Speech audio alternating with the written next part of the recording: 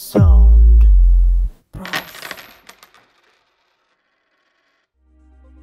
Всем привет, вы смотрите Sound Price. Сегодня у нас на обзоре будет однодрайверная арматура EFAL Magic One. Эти наушники заработали себе неплохую репутацию и явно выделяются среди себе подобных, поэтому не взять их на тест было просто невозможно. Что ж тут такого особенного? Ну, начать стоит с того, что наушников на одном широкополосном арматурном драйвере в принципе не так уж много. Даже само словосочетание «широкополосный арматурный драйвер» звучит как-то неправдоподобно. Тем не менее, такие изделия существуют, но, как правило, они либо очень дороги, либо являются нишевым продуктом для любителей детального, ну, сухого, считай, безбасового звука. Ну, либо и то, и другое вместе. А тут вдруг вполне доступные наушники, в которых, щеголяя патентами и инновациями, производитель обещает нам богатые ВЧ и, о господи, полновесный бас – Смотреть презентацию Magic One – одно удовольствие. Тут и революционная SE Mass Acoustic Technology, улучшающая ВЧ с помощью RLC цепи, и сложная акустическая структура Nautilus, прокачивающая бас при помощи лабиринта трубок и резонаторной камеры. И, конечно же, три года исследований, потраченных на все это дело. Звучит красиво, а ты поди проверь. Короче, инженеры и маркетологи бренда сработали четко. Мы заинтригованы. Magic One использует кастомный излучатель EFAL, на котором нанесен индекс ZWX-BA100. Наушники имеют импеданс 38 Ом и чувствительность 103 дБ на милливатт. Заявленный частотный диапазон от 5 Гц до 35 кГц. Упаковка у Magic One простая, но правильная. Наушники от повреждений защищает, информацию о продукте дает. Да и оформление лицевой части приятное, даром что без изощрений с цветами и фактурой. В комплект поставки Magic One входит шикарный кабель, металлический футляр, мануал и два набора силиконовых амбушюров по три пары каждый. Кстати, практически ничем, кроме цвета, последние не отличаются, так что лучше бы нам положили какие-нибудь другие насадки. К тому же качество этих, хоть и приемлемое, но далеко от идеала. Тенгзу на пару со всякими дивинусами нас избаловали, да? Мне, кстати, эфаловские амбы вообще не подошли, и я юзал внештатные с короткой ногой и широким соплом. Металлический футляр-таблетка – это очень симпатичная и приятная вещица, а также надежное вместилище для внутриканалок. Что нужно сделать, чтобы наушники, будучи в нем, получили повреждения, даже представить страшно. Но мне все равно больше нравятся полужесткие футляры на молнии или магнитах. Их можно кидать в рюкзак, не опасаясь, что они обо что-то натрутся и оцарапают. А еще с такими футлярами, как этот, все же есть шанс выронить содержимое, если неловко и резко открыть крышку. Вот родной кабель – это прям шик, блеск, красота. Он красивый, мягкий, толстый, не путающийся, не вьющийся кольцами, с респектабельной металлической фурнитурой и нормальными по форме заушинами. Мне он очень понравился. Согласно данным производителя, это гибрид из меди и посеребрянки. 32 и 37 жил соответственно. Да еще и структура лицендрат. То есть каждая жила покрыта специальным изолирующим лаком. Истинность этих утверждений оставим на совести EFAL. Если кто-то захочет стать великим разоблачителем, то добро пожаловать в комментарии под видео. Для подключения кабеля к наушникам тут используются коннекторы Tupin 078. Розетка расположена за подлицо с корпусом, на коннекторе выступающих частей нет. Корпуса этих наушников напечатаны на 3D принтере и имеют классическую форму псевдокастомов. При взгляде на лицевую панель никаких особых эмоций у меня не возникает. Ну да, симпатично и свежо, ассоциируется со снегом, как собственно и планировалось дизайнерами, но ничего такого особенного. А вот если развернуть наушники звуководами к себе, то вот тут уже можно увидеть целую кучу всего интересного и не один раз удивленно присвистнуть. Первый раз от размера самого излучателя – Широкополосник, говорите? Да он же крохотный. Второй раз от сложнейшей структуры ходов и камер внутри шелла. В наш век 3D принтеров это уже не шок-контент, но все равно внушает. Ну и третий раз от огромного кроссовера. Да, навернули тут реально много всего. А еще внимательный глаз подметит акустический фильтрик в звуководе. Вроде мелочь, но опять-таки кем-то просчитанная и внедренная. Похоже, работа действительно была проведена, не шуточная. Единственное компенсационное отверстие Magic One находится в нижней части, в районе сужения корпуса. Сюда выведен один конец трубки змейки. Качество изготовления этих шеллов я могу оценить на 5 с минусом. Минус за небольшие шероховатости на кромке звуковода и легкую асимметрию последнего. Также пожурить эфал можно за отсутствие ступеньки или хотя бы утолщение для удержания амбушюра. Кстати, диаметр звуковода здесь составляет чуть больше 5 мм. По части удобства пользования модель EFAL получилась прекрасная. Здесь и кабель ведет себя очень дружелюбно, и звукоизоляция у наушников отличная. Да и посадка в моем случае практически эталонная, так что к эргономике Magic One у меня претензий нет абсолютно. Ну и пришло время поговорить о звуке. В целом наушники звучат достаточно технично, в меру ярко на VSC, детально на верхах и имеют неожиданно достойный по глубине и ударности бас. Что им не достает, на мой привыкший к динамам, гибридам и планарам слух, так это массивности. Причем это характерно не только для баса, а для всего звучания в целом. Хотя, может это мое сознание так проецирует влияние арматурного баса на всю подачу наушников. Я точно не уверен, но факт остается фактом. Мне кажется, будто наушники звучат легко и ажурно. Порой слишком легко и хочется навалить массы, веса, жира и напора. Единственная область на ЧХ, которой эта мысль не касается, это ВСЧ. Здесь наушники звучат живенько и, я бы даже сказал, остро. Настолько остро, что не всякие амбушюры хочется с этими арматурками использовать. Например, амбы с более узким соплом, которые как раз таки добавляют желанной массивности на низах, заставляют Magic One играть уже слишком пронзительно, и от этих насадок мне пришлось отказаться в пользу силиконок с более широким отверстием и короткой ножкой. Так ВСЧ ведут себя более прилично и не бередят слух попусту. Но бас становится немного легче. Бонусом, правда, приходит некоторое расширение стереопанорамы и более четкое ощущение присутствия, что, в общем-то, выглядит как весьма выгодный размен.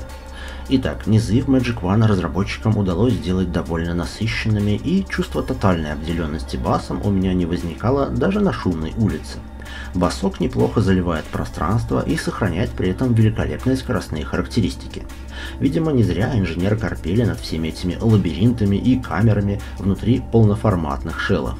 Но я повторюсь, массивности этому басу все равно немного не хватает. По крайней мере, на мой вкус. Если же вы любите нейтральный бас, то подача Magic One в этом плане вам должна понравиться. Середина здесь не столько ровная, сколько плавная, без резких перепадов – и это хорошо видно по графику АЧХ. Привычная уже горка на 2-4 килах имеется, но она здесь не выглядит как ключевская сопка, а скорее напоминает пологий холмик. Такой подъем все еще заметно оживляет середину, делая ее более дерзкой и агрессивной, добавляет немного эффекта присутствия и щепотку напускной насыщенности высокому вокалу и звонким инструментам. Однако ощущения провала нижних средних у меня при этом нет, но порой есть ощущение, как я уже говорил, эдакой перчинки-остринки, выводящей на ведущие роли скрипки, флейты, солирующие электрогитары с их пронзительными запилами и тому подобное. Низкий же гитарный риф звучит здесь жестко и плотно, но все же слегка так диетически, да? То есть тут я не испытываю ощущения сурового навала и припечатывания к стенке, которые могут подарить некоторые другие наушники. Но зато здесь совершенно нет мазни, динамика отличная. Если вам это все по душе, то, как говорится, милости просим. В принципе, критичного задира VSC здесь нет, все это слушабельно, но акцент приличный. Отрадно, что данный акцент расположен все же ниже 6 кил, и сибилянты тут подчищены. То есть стык середины и ВЧ у этой арматуры адекватный. Даже на самых злобных треках свистящие согласные меня не доставали.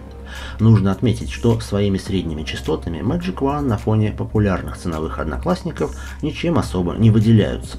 Ну, понятно, что подача и распределение акцентов может разниться от модели к модели, но разрешение и, так сказать, качественный уровень у хороших наушников, как правило, плюс-минус один.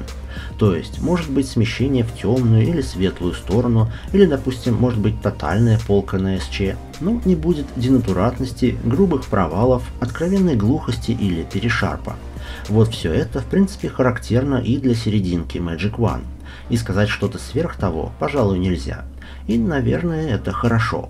Если вы ждете от этой арматуры очень высокого микроконтраста, то они вас вполне возможно слегка разочаруют. Разделение инструментов и детализация здесь хоть и на хорошем уровне, но во главу угла не ставится. На середине данная модель звучит практически неотличимо от любого достойного динамика. Вы спросите, а в чем тогда смысл городить весь этот огород с одним уравновешенным якорем и кучей вспомогательных элементов? Чего ради делали монструозный кроссовер, акустический фильтр и вот эту змейку, уползающую в выручай комнату? Честно, я не знаю. Возможно, ради ажурных и воздушных ВЧ. Возможно, для обкатки технологий, которые потом пойдут в более дорогие модели бренда. А может быть и немножечко для привлечения внимания. Но мы не осуждаем, правда? Ведь получилось же необычно и интересно, а главное очень неплохо по звуку. Основной момент, за который я бы похвалил разработчиков FL, это ВЧ. Здесь они действительно получились очень приличными. Тарелочно-перкуссионная часть в любой музыке здесь выходит насыщенная и разнообразная. Протяженность верхов очень хорошая, а затухание четко выражены. При этом грубых ошибок на верхах допущено не было. По уровню они не задраны, критических пиков на АЧХ нет. А значит нет песка и зуда. Хотя, безусловно, ВЧ в целом почти всегда очень хорошо заметны и не пытаются скромничать и отходить на второй план. Но они и особо не дерзят. То есть от трека к треку случается, что тарелки довольно броские и звонкие, и так приятно дразнят слух позвякиваниями на грани фола. Однако такая вот работа на грани, без перехода в мусорную, лишенную деталей громкость, это и есть техничность. Да и вообще, я уже отмечал, что при хорошей заметности ВЧ в исполнении Magic One звучат весьма детально и воздушно. А это как раз то, за что арматурные излучатели многим и нравятся. Панорамирование у наушников хорошее, глубина и ширина приличные, но не более того. Их подачу я не могу назвать ни камерной, ни очень масштабной все примерно на среднем уровне. То же самое касается образов воображаемых источников звука. Они чуть меньше привычных, но это именно что чуть. Если специально на этом не фокусироваться, то, пожалуй, и не заметишь. По части совместимости наушники вроде как не требовательны, но я бы обратил внимание на довольно низкую чувствительность при весьма немаленьком для AEM импедансе. То есть, говоря простым языком, громкости эти ушки требуют поболее, чем большинство их одноклассников. Неожиданно, правда? Да и вообще, Magic One на удивление хорошо скалируется при улучшении качества усиления. А лучше всего из всех моих источников они заиграли от аудиенста, прокачанного берсоновскими дискретниками. И, кстати, фонового шума, который он дает на многих внутриканалках, здесь нет. Такие вот арматурки. Если говорить о том, с какой подачей источник им лучше всего подсунуть, то все очевидно. Лучше что-то басовитое и темноватое, но на крайняк нейтральное, но только не светлое, сухое и заточенное на микроконтраст. Это, мне кажется, будет не лучшая связка. Для сравнения с героем сегодняшнего обзора давайте возьмем будоражащую общественность Динамо Кифайн Дельчи. Эти ушки привлекают многих своей музыкальной подачей и крупными образами – сравнении с Magic One у них куда больше массивность баса, глубже воображаемая сцена и ближе вокал. Да и вообще вся середина, кроме нижних средних, в Дельче несколько более заметна и влиятельна. Верха же, напротив, больше обращают на себя внимание в Magic One, даже несмотря на, казалось бы, серьезный пик на ЧХ Дельчи. По разрешению лидерство на НЧ и ВЧ будет за FL, а вот на средних паритет – еще одним визави пусть будет новоиспеченные SPD-шки Pandamon 2.0 от Celeste. Я не знаю, как это работает, но с первых же секунд смены арматуры на планар понимаешь, за что многие недолюбливают арматурный бас и что такое бас с нормальной массой. Хотя по замерам баса в Magic One должно быть больше. Бас пандамонов с одной стороны не такой быстрый, но с другой он лучше играет в саб и будто бы обладает большей весомостью, что в определенных жанрах точно будет преимуществом. Планары от Celeste звучат заметно шире и слегка растягивают сцену, Наши же арматурки рисуют пространство более компактно и органично. Высокий вокал в пандамонах звучит чуть ближе и чуть более гнусаво. Если мы посмотрим на ЧХ, то увидим, что их пик на ВСЧ смещен ниже по частотке, так что это неудивительно. Разрешение на СЧ и ВЧ, конечно, выше в Magic One, но они заметно жестче отыгрывают стык середины и верхов, то есть блюстителям порядка на севелянтах больше понравится в этом плане звучание пандадемона. Я бы сказал, что более нейтральная настройка EFAL позволяет им быть более универсальными по жанрам, но в то же время более трудными для восприятия неискушенным слушателям. А планары от Celeste стараются больше угодить массовому потребителю, красочно отыгрывая середину, занося низкого баса и периодически поддавая звонких тарелок своим единственным, но удачно расположенным пиком на ВЧ. Что еще? Принципе, Magic One отдаленно напоминают Simgot и M6L, но те наушники более басистые и поближе подают вокал, а в наших арматурках чуть больше ВЧ. Итак, каков вердикт по однодрайверной арматуре от EFAL? Очень достойные наушники с нейтральным звуком, прекрасной эргономикой и адекватной ценой. Сказать, что меня они чем-то особо зацепили, я не могу, но и отторжение модель однозначно не вызывает. Это, если хотите, крепкий середняк, который обращает на себя внимание прежде всего своей необычной начинкой. То есть все аудиофилы на сходке такие «У меня Динамо, у меня гибриды, а у меня планар», а вы такой «А у меня однодрайверная арматура». Но кроме желающих быть не как все, порекомендовать Magic One можно тем, кто ищет звука без перегруза на краях и с чуть светловатой серединой. На этом у меня все. Кто еще не подписался, подписывайтесь и залетайте к нам в телеграм-чат. Но главное, никогда не забывайте, что бесценен только живой звук, ведь для любого другого есть своя цена. С вами был Sonic Raid. Удачи вам!